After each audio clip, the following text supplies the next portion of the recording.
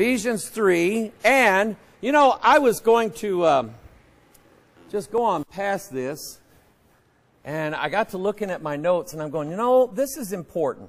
I, do, I think it's important, and I'll tell you why. There are, let's see if Jaden left me any juice up here. There we go. Um, there are ways to interpret the Bible. God gives us everything we need to interpret His book. The best interpretation, of course, is done by the Holy Spirit. Uh, the Bible talks about comparing spiritual things with spiritual things. In other words, spiritual thing here in Ephesians is compared with spiritual things in Daniel 7 or Daniel 2 or Genesis 1, things like that. And when I first uh, happened upon this, um, I thought it, it, was neat, and it just sort of uh, reaffirmed my belief that, number one, God created everything, and um, when God created everything, He spoke it into existence, and that His Word, this book, um, is the blueprint of all of God's creation. It contains everything in it that God used to create uh, this wonderful world that we live in, the, the night sky, the day sky, um, every, all parts of the creation. Um, it, it was put together by an intelligent God. And any scientist who can look at just the smallest of things in all of creation and not see that there had to have been an intelligent designer behind that, um, then it, it just, you know, it just, I don't think they're being honest in saying, I don't believe in a God. I only believe in, I only believe in nature. Well, to them, nature's a God.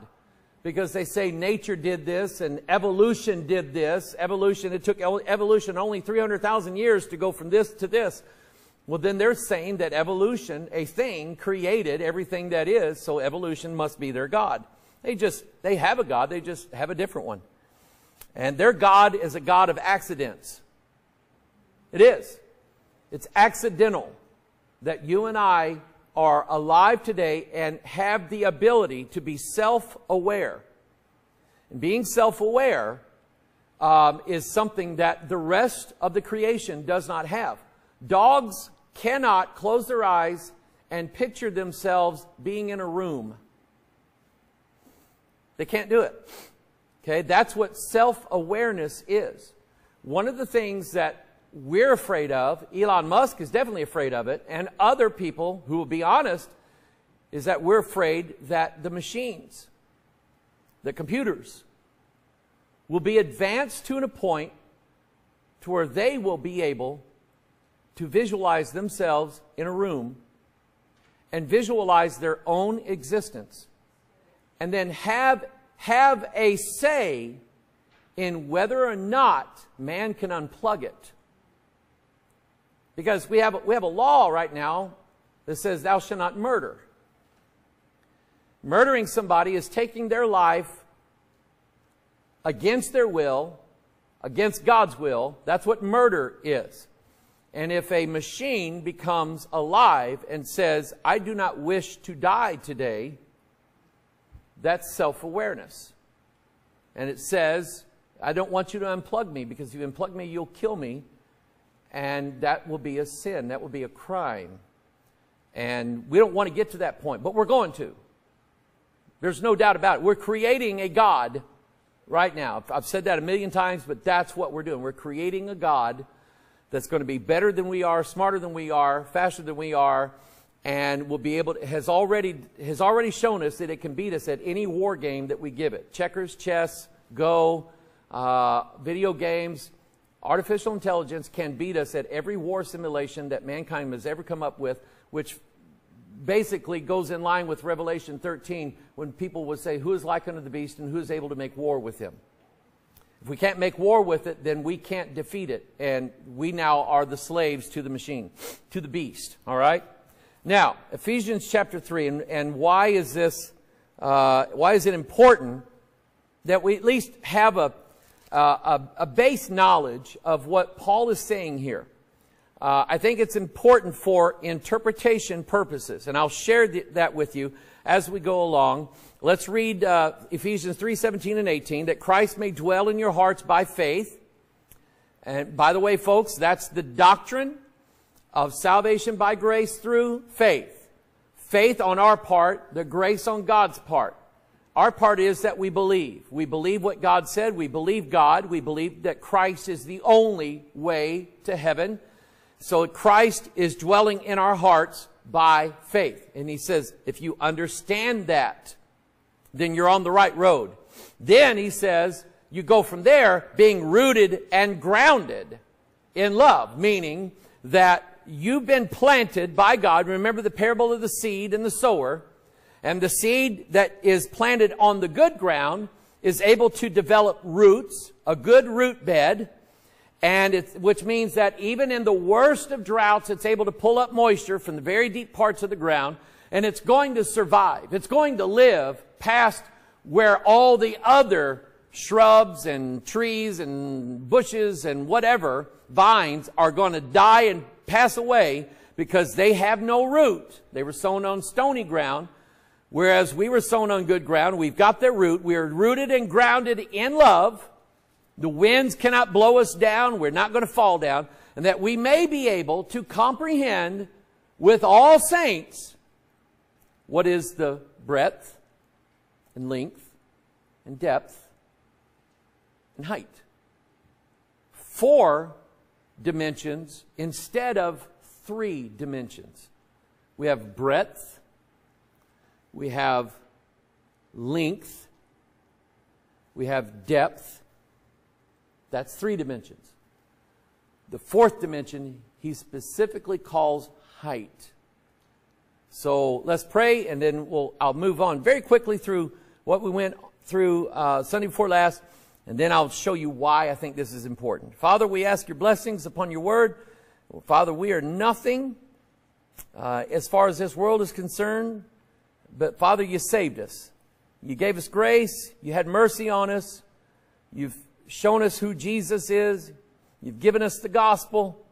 And we thank you, God, that uh, you give us the ability to believe in the Lord Jesus, believe on his name, um, trust the Lord with all of our hearts. And Father, you save us by your mercy and by your grace. And we thank you, Lord, for that grace. And Lord, Lord, we ask for instruction tonight. We ask for wisdom. We ask for knowledge and understanding. We ask for guidance uh, as we study deep things in your word and try to understand them. And Father, while our, while our outer man, our old man, may not be able to comprehend much of this. I pray, dear God, that our inner man, the new man, Christ in us, is able to comprehend it with all the saints in Jesus Christ. So, Father, bless your word tonight. Bless each and every one of us that are here, those that are joining with us online. We just pray, God, that you would uh, show us your word of truth. We pray this in Jesus' name. And all of God's people said, Amen. All right. Now, so four dimensions breadth, length, depth, and height.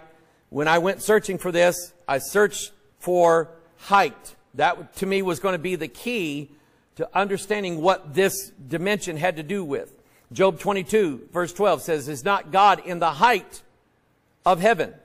There he is. He's telling you where God is. Where God is, is height.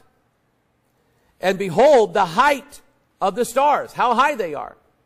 So there's the stars now being in that realm because we know stars are angels in the Bible and they are, they are in an area or a realm above us.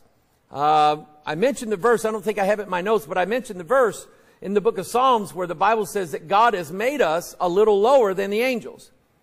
So we are bound in a three-dimensional reality, a three-dimensional world, and everything that, every thought that we think is based upon those three dimensions and guided by and governed by linear time.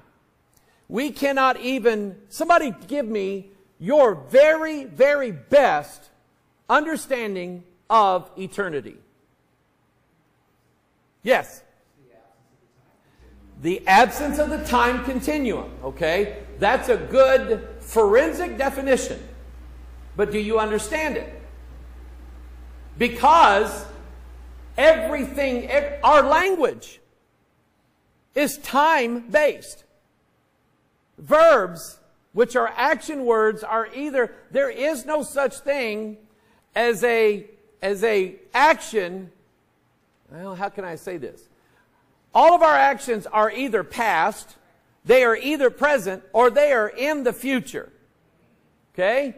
We don't know of an action outside of that. We can't fathom it.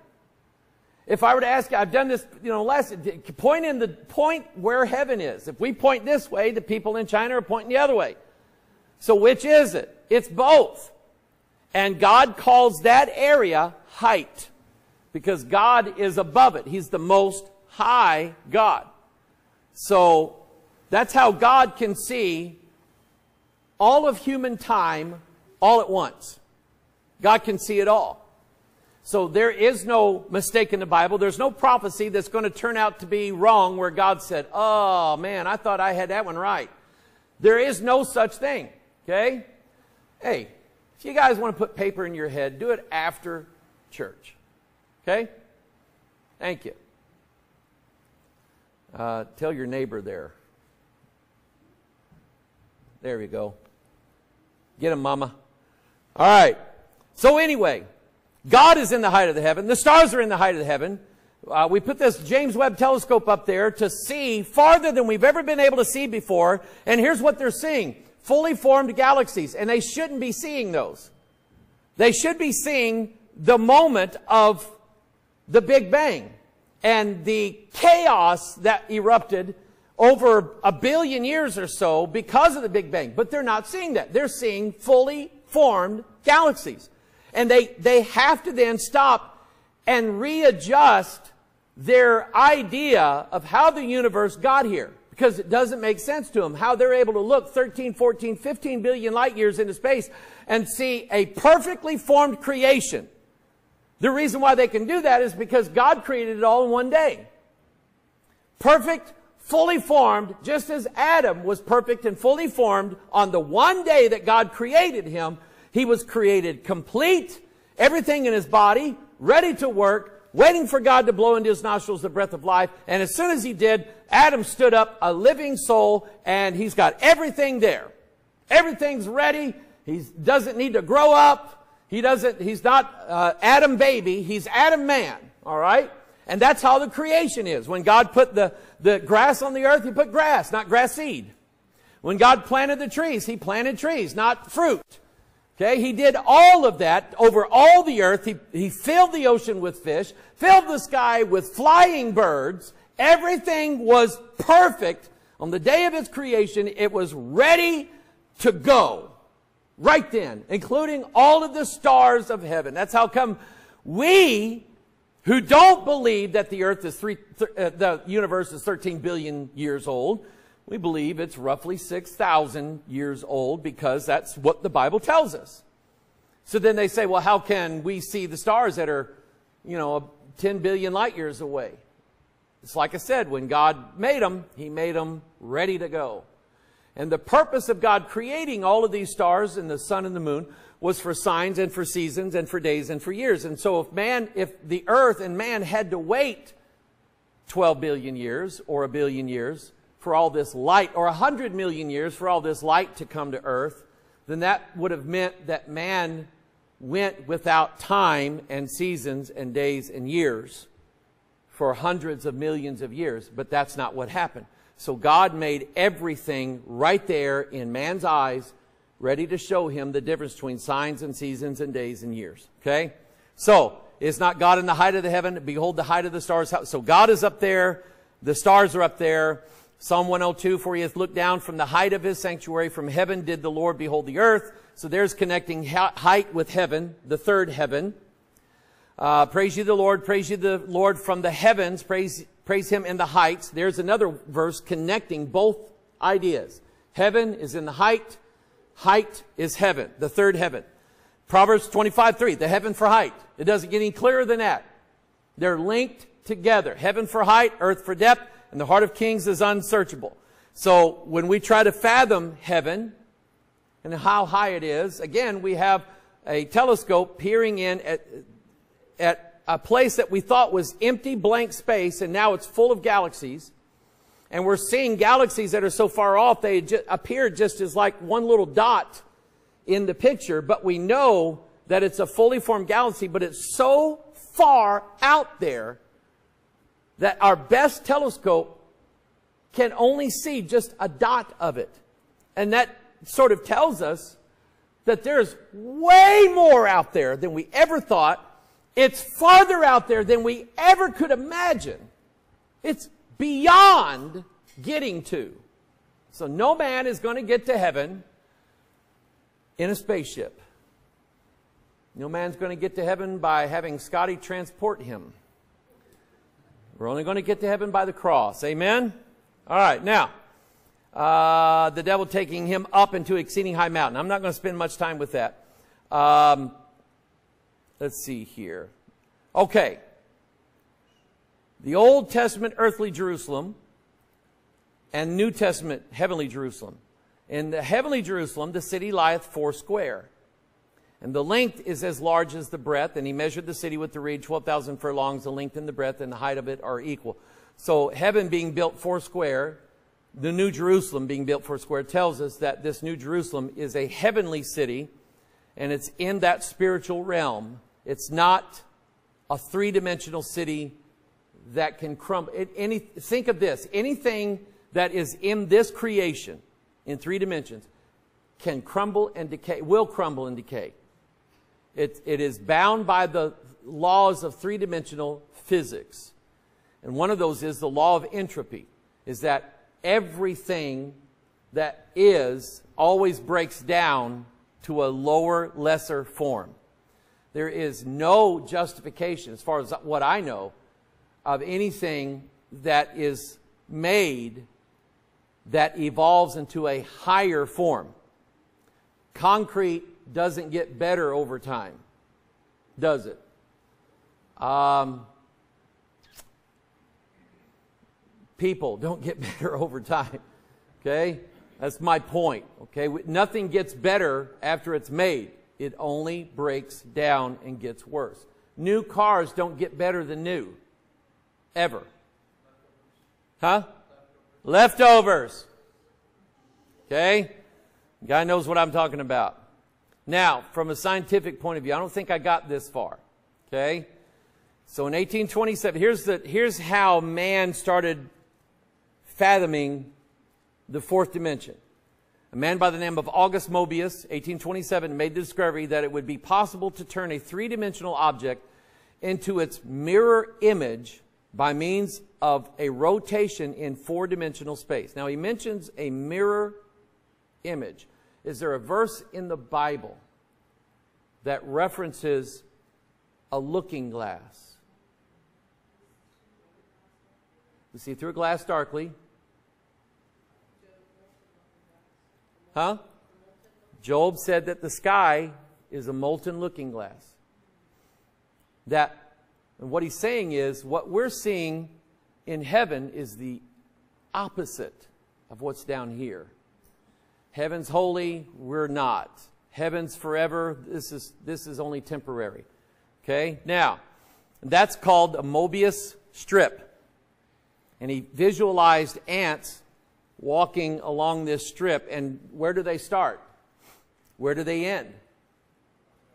Okay? They just keep going. Okay? By the way, this is also an occult symbol. It's called the infinity symbol. And it's used in occult realms to, uh, to realize infinity. Um, or, um, what am I trying to think of? Reincarnation. Okay? Study binary, okay? E.W. Abbott, or E.A. Abbott, a Victorian schoolmaster. Uh, a lot of these mathematicians were also theologians. The Victorian schoolmaster and clergyman who published in 1884 his famous novel Flatland. I tried to, I was showing you about Flatland a couple Sunday nights ago where I, I, I was showing you my, my shadow. We're going to get, we're going to show you a little bit better illustration of that here before too long. Flatland. So Flatland was a story about people that live in two dimensions. They can only go this way and this way. They don't know what up is or down. They have no concept of that. So when something from a three-dimensional world comes into their land, they only see two dimensions of it. That's all they can see at a time.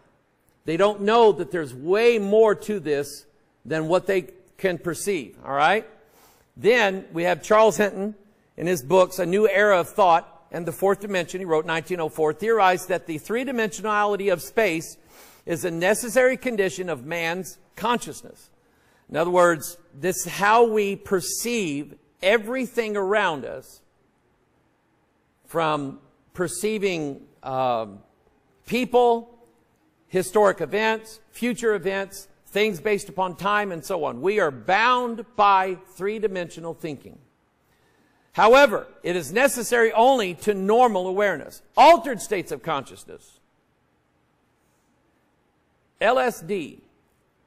When LSD was introduced, the people who took it all of a sudden had an, alter, an immediate altered state of consciousness.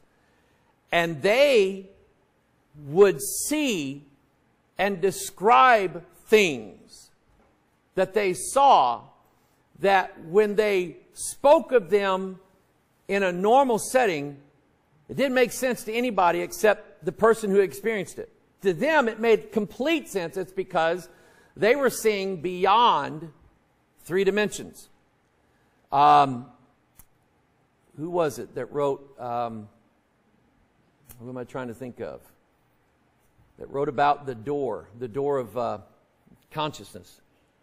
Um, I can't think of his name. Anyway, um, basically said that there's a door in everybody's mind and it's shut. And it's keeping out thoughts and ideas that would better us as a species.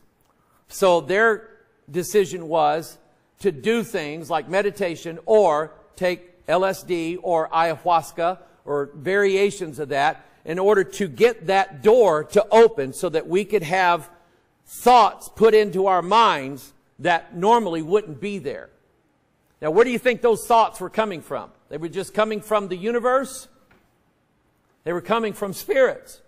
This is how witch doctors did it. This is how medicine men did it. Um, this is how the ayahuasqueras down in South America and the tabaceras did it down in South America. They would take a, a, mixture of uh, tobacco and liquor and, I don't know, fermented or whatever. And they would drink this and it would open up their mind and they would see, literally, they would look into the forest and see that every plant and every animal was made up of little serpents. DNA. I've been seeing this for years. Okay? So, uh, Francis Crick, one of the guys who won the uh, Nobel Prize for uh, discerning the shape and the makeup of DNA, was taking small amounts of LSD to stop all the thoughts that was clouding his mind to keep him from seeing what he needed to see and allow in thoughts that would help him visualize what DNA looked like. And he went home one night, had a dream, and the next day he goes in and he draws these two serpents intertwined together and he said, this is it. And he's right. Where did he get that knowledge though? Something in that dimension, because he opened the door. When you open the door, the camel's coming in. Right? Or in our case, the cats. Lindsay's outdoor cats. You leave a car door open, you're taking a cat with you somewhere. Anyway, um, altered states of consciousness experienced by mystics and psychics who acquired this four-dimensional perspective. Uh, Hinton's Tesseract. He's the guy that came up with the Tesseract. You've, you've seen these movies, have you not? Where did they get that Tesseract from? This. It's a visualization of the fourth dimension. A cube within a cube that when the tesseract is rotated, the inner cube becomes the outer cube and the outer cube becomes the inner cube. And it's all confusing, right? It's because we only know three dimensions. Then we have Charles Dodgson. That was his real name. His pen name was Lewis Carroll. Charles Dodgson was, again, he was a clergyman. Um, they now think that he was um, a, um, he had uh, Asperger's syndrome. He was a savant, meaning that he had uh, a form of autism, but it was high functioning. And um, he could think thoughts that nobody else could think. So he writes a story about a girl who falls into a mirror. And when she goes into that mirror, it's a completely different world. So Charles Dodgson, as Lewis Carroll, was writing about his theories of what the fourth dimension would be like by having Alice fall, go into that mirror, Alice in the looking glass, and now she's in the fourth dimension. And that's why everything looks weird to her. Okay? Things make sense now. Okay? Um, H.G. Wells, who read Charles Dodgson's work, H.G. Wells then takes that and says, well, time is linear and it's bound to the three dimensions that we live in. So if you could build a ship that would take you in above the three dimensions, you could travel anywhere in time because you're above it and you could fly wherever you want to and land anywhere you wanted to in past, present, or future. So H.G. Wells writes this. What was his friend's name? Wow, do I have a note on it? No, it wasn't Einstein. Um, I can't remember. Anyway, which led to a Russian mathematician, Hermann Minkowski, who wrote, who first came up with the phrase the four-dimensional space-time continuum. Space and time are always linked together. If you bend space, you will bend time. Gravity does that. And we know this. We have pictures of it. We have pictures of that Hubble took and that the Webb telescope took of light from galaxies being bent around a black hole, forming a circle, a big circle in deep space. And we look at it and they now know that that's because there is a black hole in the center that gravitational pull is so strong that it bent the light waves around it. I mean, it's absolutely amazing. This universe is awesome, God. Oh, I love it. So he's the guy that came up with that. And then, which led to Einstein coming up with energy is the same as matter. This is matter. That's energy. And he said, if an object traveling at the constant speed of light squared becomes energy pure energy. They're the same, which is the basis for all quantum physics. So, um, what's his name? Not LaForge from Star Trek. Geordie Rose. He invented the D wave quantum computer. And here's how he described it.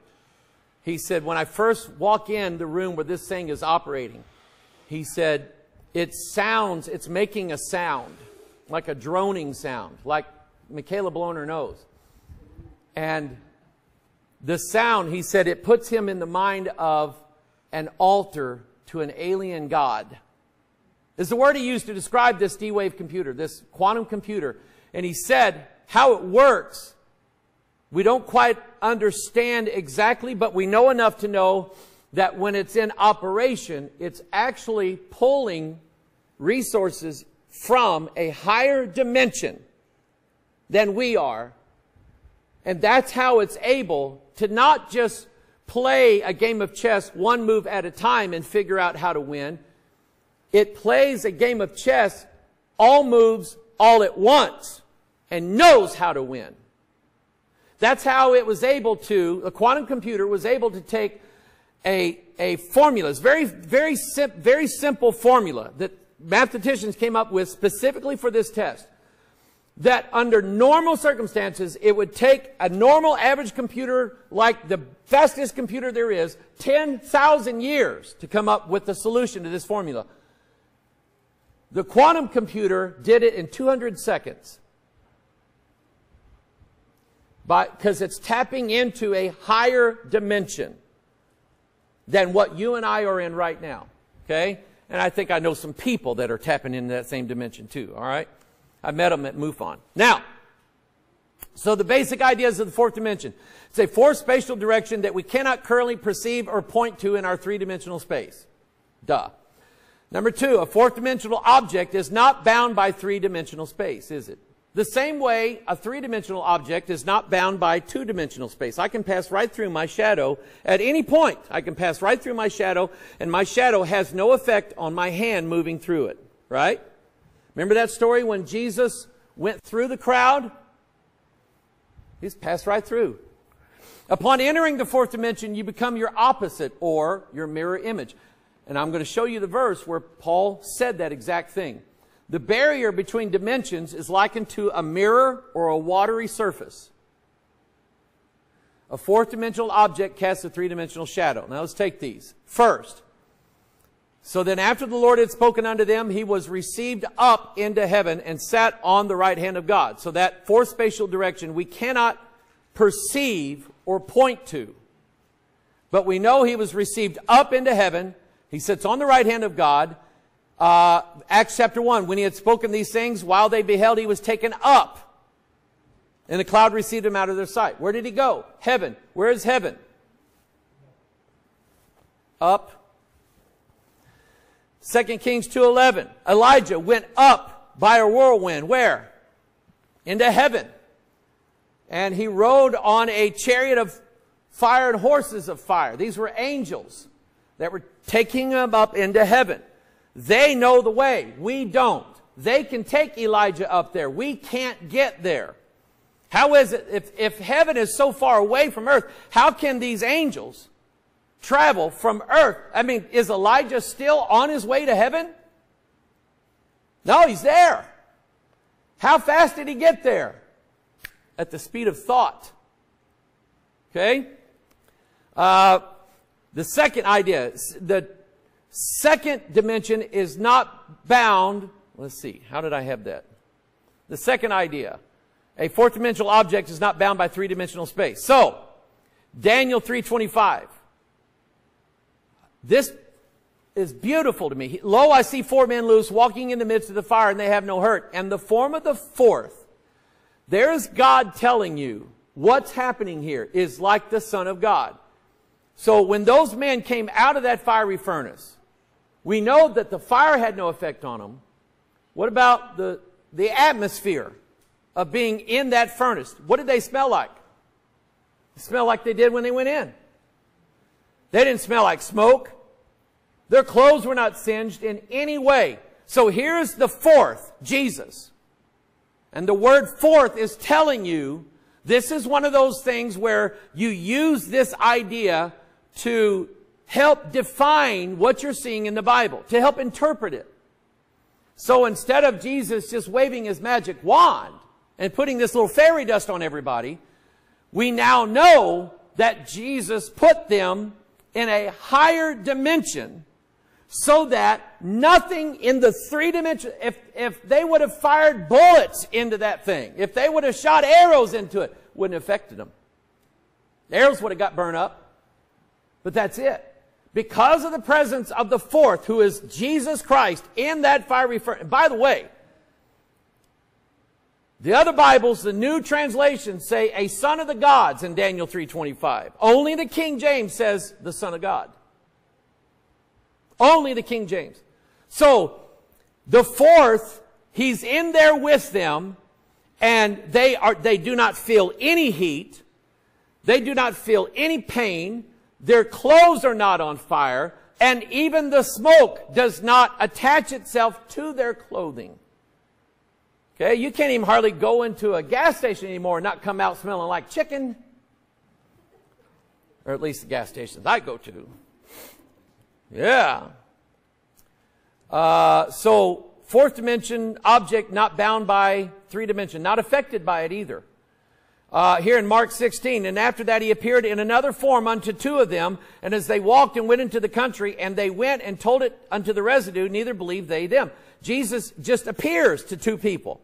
In Luke 24, and it came to pass as he sat at meat with them, he took bread and blessed it and brake and gave it to them, and their eyes were open, and they knew him, and he vanished out of their sight. How come? He's the fourth.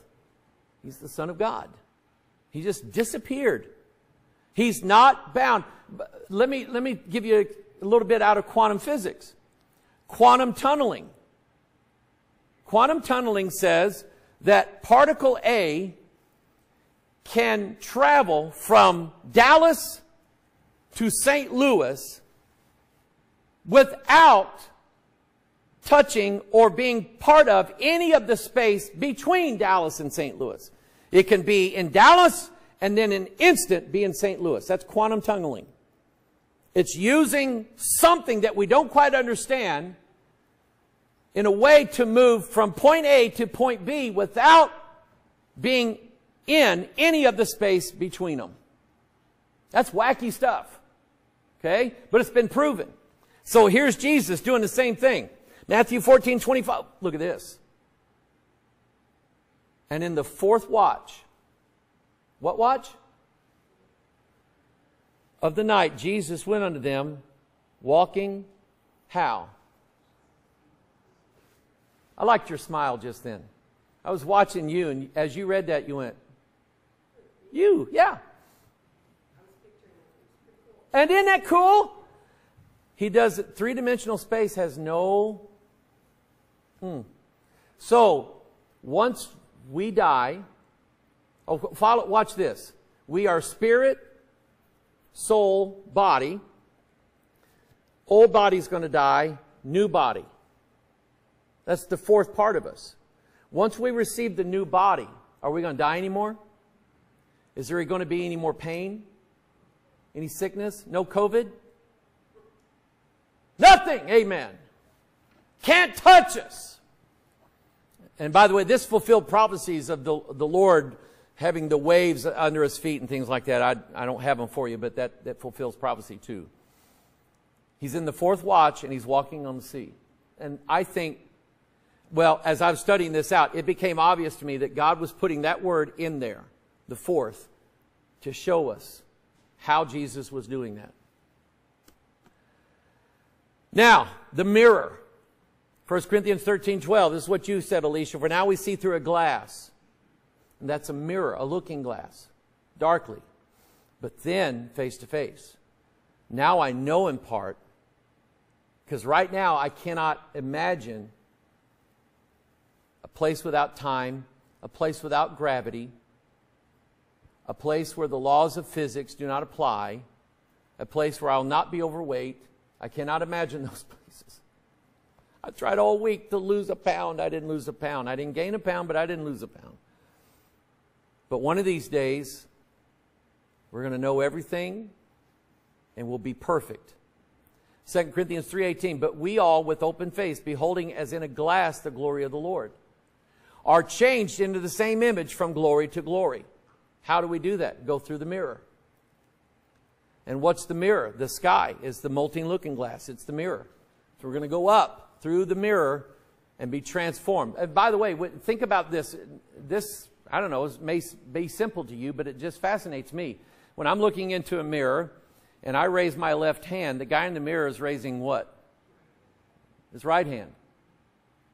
When I raise my right hand, the guy in the mirror is raising his left hand. He's the exact opposite of me. And that's what this verse, I think, is teaching us. Christ is everything we're not. He is immortal, we're mortal. He is sinless, we are sinful. He's perfect, we are undone, we're corrupt. Okay? But one of these days, boom, we're going to get in that. Okay? Uh, who in here watched the Matrix movie? How did Neo go from the computer Matrix simulation to the real world? They plugged him in, and he has this mirror next to him.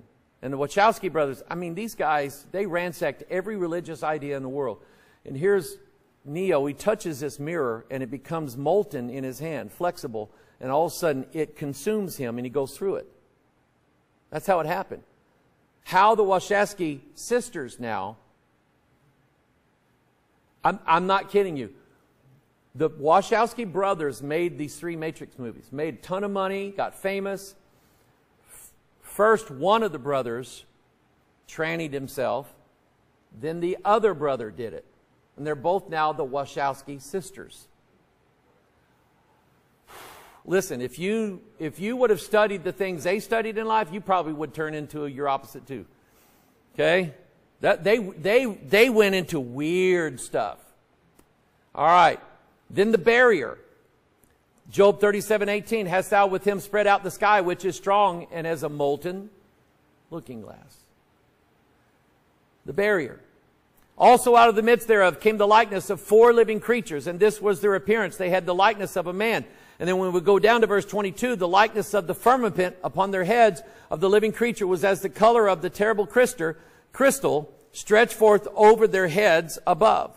So here's that fourth dimensional barrier separating us from the heavenly realm. The angels who carry God's throne, they can move themselves about in our reality as quick as light or faster than light. The Bible says in, in Ezekiel 1 that they ran and returned as a flash of lightning. Boom. Just like that. They're not bound by, when you, we don't recognize this, but when we start our cars and start it going, it has to accelerate. We don't just hit the gas and we're doing 60. You'd break your neck. And we don't just come to sudden stop unless you hit a tree. Okay? So don't hit a tree. But we can't come to sudden stops either. We have to decelerate down to them. These angels didn't have to do that. They turned right, they turned left, they, they ran and returned. No acceleration, no deceleration. Why? There's four living creatures, four cherubs in a fourth dimensional realm. That's the realm that they're living in, and they can move about better than we can. Which is why when we are fighting principalities and powers and rulers of the darkness of this world and spiritual wickedness in high places, we cannot use carnal weapons. We must use spiritual ones. A spiritual sword's a lot better than a Japanese sword. Amen? The word sea is mentioned exactly 400 times in the King James Bible. What do you think that tells you? And before the throne there was a sea of glass like unto crystal. Okay? Daniel, watch this. This is where we get into interpretation. Daniel chapter 7. Daniel, in this vision, sees four great beasts come up from where? The sea. The seas, and remember, the sea is a reflective surface, like a mirror. Okay? Uh, scrying. I've talked about the occult practice of scrying whether you use a gazing bowl with mercury in it or water, or you use a, a pond, still water, or you look into a mirror. Remember what the, uh, the witch in Snow White did? Mirror, mirror on the wall. She was scrying. And whoever made that cartoon knew exactly what that was for. She's looking into a reflective service look, trying to look into the, because they say the spirit realm is on the other side of that. That's where the spirits will come to. So Daniel spake, I said, I saw my vision by night, and behold, the four winds of the heaven, four. The Bible's telling you this, four of the heaven strove upon the great sea, and four great beasts came up from the sea, diverse one from another. So now, 2 Corinthians 3.18, but we all with open face beholding as in a glass the glory of the Lord are changed into the same image from glory to glory. And this is what I was talking about, scrying. Or a reflection pond. This uh, picture there on the right is uh, where? Does anybody recognize it? The Louvre. It's got an R on the end. I don't know how they pronounce it. The Louvre the Louvre Museum. And it has this reflecting pond. And the idea of this, when you're looking at it, this as above, how many sides on the bottom of a pyramid? Four. Four on the on the bottom. Yeah. Five altogether, four sides on the bottom. I knew what I was asking. I knew what I was saying. Um, the reflection ponds in the um, the mall at Washington D.C., going from the Capitol building to Lincoln's Memorial. They're meant to reflect, as you look at them, they're meant to reflect something going up, something pointing down. As above, so below. Okay? And they're basically referencing something coming up into our dimension from the fourth dimension. So when Jesus died, he went to the heart of the earth. What is it about the heart? Four chambers. Okay? So, when Jesus was down there, he was down there in the spirit, not in the flesh. His body stayed in the tomb and it didn't corrupt. But his spirit went down there and preached. The Bible says he preached to spirits in prison. Okay? So, this, this, it's, it's, inter, it's important to learn as far, now here we get into the shadow. It's important to learn this when it, again, when it comes to interpreting Scripture and especially interpreting prophecy. Um, I had I had read for years that um, the fourth kingdom in Daniel two was the revived Roman Empire. I've heard that hundred thousand times, read it in books. Everybody just says it, and everybody believes it because everybody says it. It's a revived Roman Empire. So when I went to the Bible and started reading the Bible instead of the prophecy books, I didn't find revived Roman Empire in the Bible anywhere. In, in fact, I didn't find anything that even pointed in that direction. Uh, what I found was a fourth kingdom made up of not of humans, but of spirits. So they are going to have more power than mankind has. Okay? Um, there's a video, I've, I've showed it, I've shown it, pardon my French, um, recently on a Pastor Mike Online episode, and it showed, uh, purportedly shows um, the Iranian defense forces shooting everything they've got at a UFO, and it's having no effect on it whatsoever. None. And this UFO is just playing with them. Just going back and forth. And they're, I mean, they're shooting, they're shooting missiles, they're shooting 50 caliber bullets, they're shooting everything. Rapid fires are going after them. You can see all the bullets because they, they're phosphorus coated and they're, they're lighting up. And it's like they never hit it one time. There was another one. Um, John DeMano put me onto this. Uh, at the Aguadilla Airport down in Puerto Rico, which is a Department of Homeland Security airport. And this object goes through their airspace. And they can pick it up on infrared. They can't see it with eyes, but they can pick it up on infrared. And the video shows this object. It goes out over the ocean and it goes into the ocean. It never, never slows down, never stops. It doesn't even make a wave. It goes down under the water. It comes back up and all of a sudden then it splits into two right, in, right on video. And I'm like, that's not normal stuff. We don't have planes that do that. So how can we explain that? They're a higher realm. Three-dimensional objects only cast a two-dimensional shadow. So a fourth-dimensional object casts a three-dimensional shadow. So here is heavenly Jerusalem, four square, and notice how God had the Israelites camped in the wilderness. Were they like in a, just a jumbled circle? No. Three on the north, three on the east, three on the south, three on the west. Four square. Because it was a shadow of heavenly things. Let no man therefore judge you in meat or in drink or respect of any holy day or the new moon or Sabbath days, which are a shadow of things to come. Meaning that the things that have happened in the past are a shadow of something all in the future. The future, get this. The future is casting a shadow through the fourth dimension into the past. That's what your Bible's telling you. The, um, the, um, um, when Hezekiah wanted the sign from Isaiah, if he's going to live, and Isaiah said, do you want the sundial to go 10 degrees ahead or 10 degrees behind? And he said, well, it's already going to go 10 degrees ahead. Make it go 10 degrees back. And so it did. And you know how many minutes that is? That's 40 minutes. Exactly. 10 degrees on the sundial. They went back in time. 40 minutes. And Hezekiah goes, okay, that's pretty impressive. So am I going to meet myself now 40 minutes ago or what? I don't know.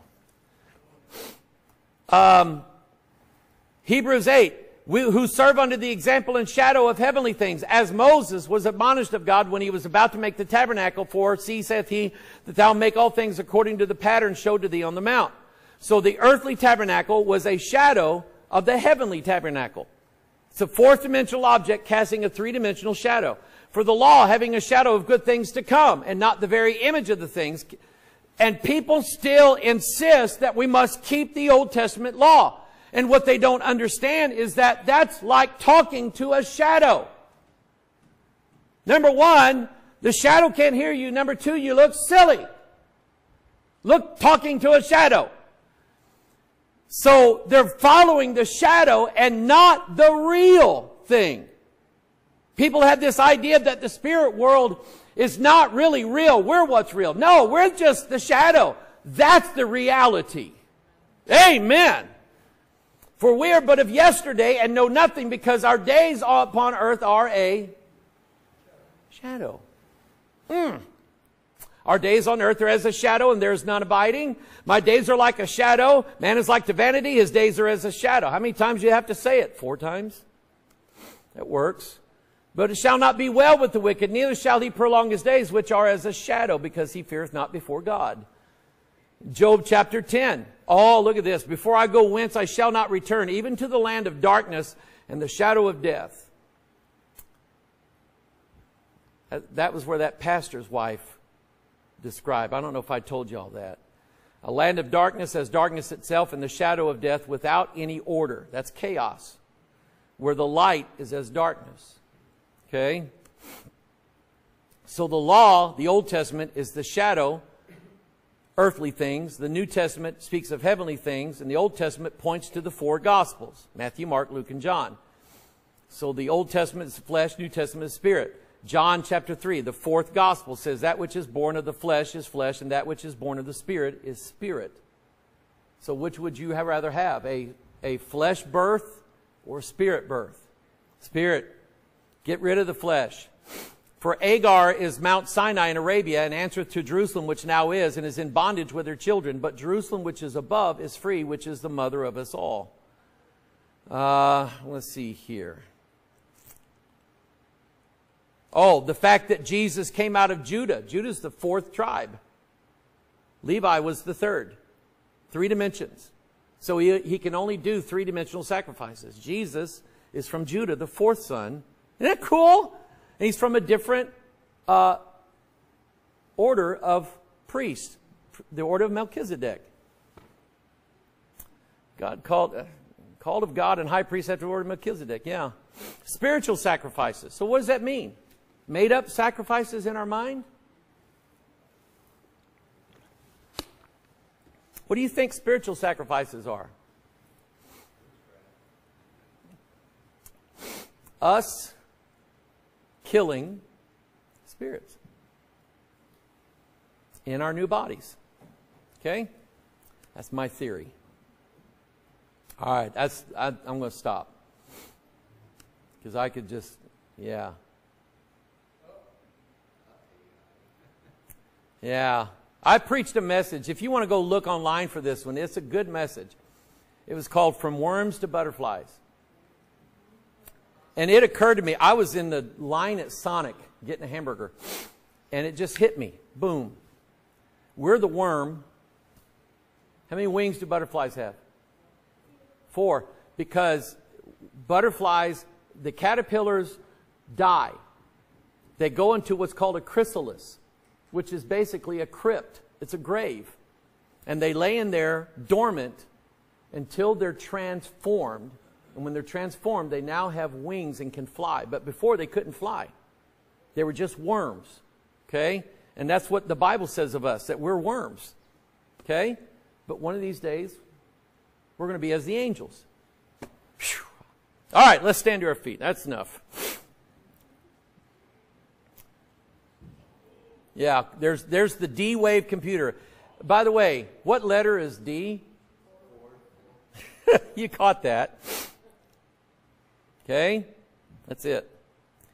And that's what he said. He said, we're tapping into a higher dimension to do our computing, where time is not an element of it. It's no time whatsoever. Mm. Yeah. All right. Boy, I hope your brains are full now. All right, so you kids, hope you took notes because Melissa's going to ask you about this stuff this week. Got it? Got it, Liam? He went. All right. Father, we love you. We thank you, God. This book, I will never be done studying this book, knowing this book. I thank you, God, for it. I thank you for its precepts, its truths, its doctrines, its helps. Everything about it, Lord, is my life and how I want my life to be and how I want my family to be and my church. And Lord, I just thank you for making this book just out of sight. Father, thank you, Lord, for showing it to us and revealing deep, deep things to us. We're just simple people, Lord. We're not mathematicians. We're not the smartest people in the world, but we believe the Bible. So, Father, we just ask God that you just continue to fill our minds with knowledge, and through knowledge, give us understanding. And, Father, we just ask God then for wisdom to live the life that you've called us to live. Blessed be your word above all things. We pray this in Jesus' name. And Amen.